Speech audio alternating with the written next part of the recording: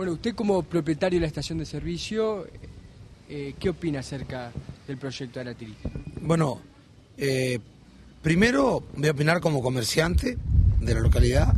Esto le ha dado un impacto social positivo al pueblo este, muy importante, económicamente y socialmente. En lo que respecta a, a, mi trabajo, también ha tenido oh, un impacto muy importante.